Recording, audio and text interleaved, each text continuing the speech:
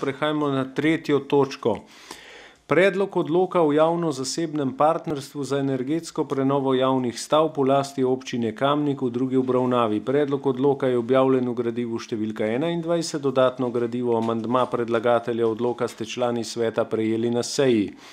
Predlagatelj župan, poročevalci Boris Ravbar, Tina Trček, Anže Godec in Tomaž Zver. Besedo ima Boris Ravbar. Hvala. Lepo pozdravljeni.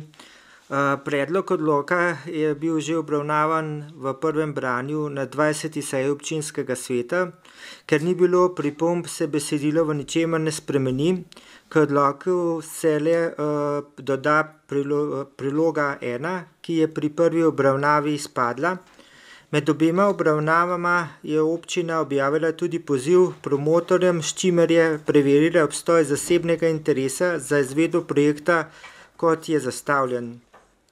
Skladno s pravilnikom o vsebini upravičenosti izvedbe projekta po modelu javno-zasebnega partnerstva je bila, narejena primerjava prispelih promotorskih vlog in DIP-ov ter ugotovljeno, da odloka ni potrebno spreminjati. Kot sem že poudaril, besedilo ostaja nespremenjeno. To bi bilo z moje strani. Hvala. Odpiram razpravo, delovna telesa. Svetniške skupine. Svetnice, svetniki.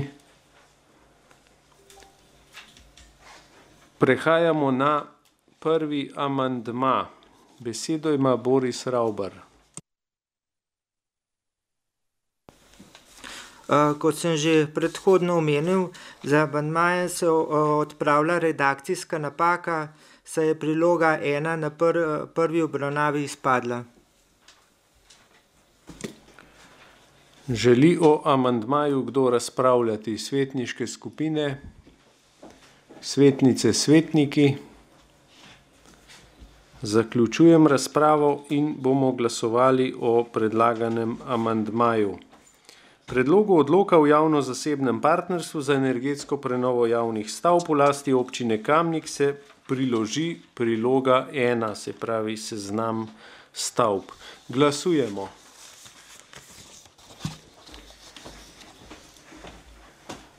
Glasovanje poteka.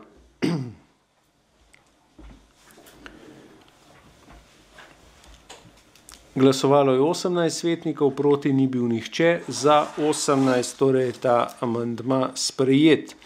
Glasovali bomo še o predlaganem sklepu. Občinski svet občine Kamnik sprejme odlok o javno-zasebnem partnerstvu za energetsko prenovo javnih stavb v lasti občine Kamnik. Glasujemo.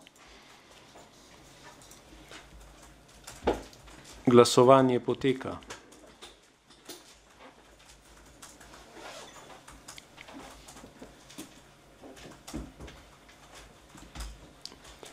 Glasovalo je dvajset svetnikov, proti ni bil nihče, torej je ta odlok sprejet in ta točka zaključena.